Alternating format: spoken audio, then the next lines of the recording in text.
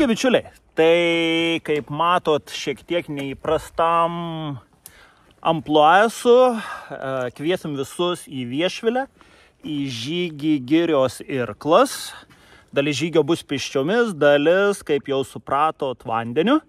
E, Dabar kaip tik e, žiūriu trasą, tikrinu, kiek irklų grįpšnių bus.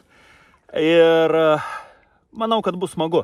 Bet visada būna smagu, kai yra ką įdėti į savo akimirkų kolekcijas. Tai susitinkam girios irklę.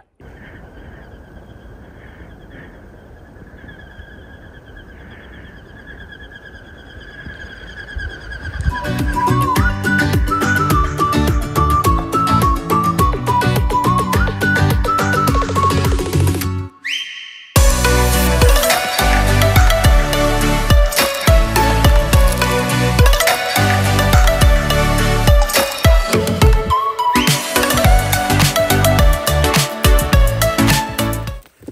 jo, plauksim, plauksim, visą laiką plauksim. Tik ir plauksim.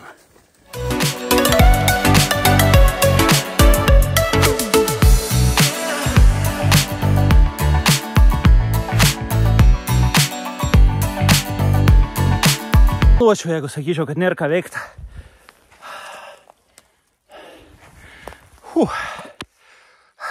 Linksma labai upelio vaga iš tikrųjų, bet yra užgriuvusių medžių, reikia persikelti. Kadangi plaukiu su sena guminė valtelė, tai nesinori taip aklai šturmuoti, kad nesibaigtų viskas vandenį.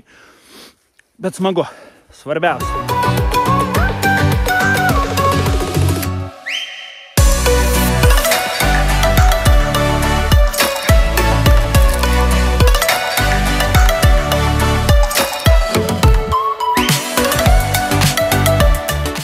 Kokia ramybė.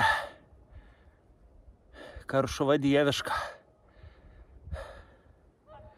Ir šitas upelis dieviškas.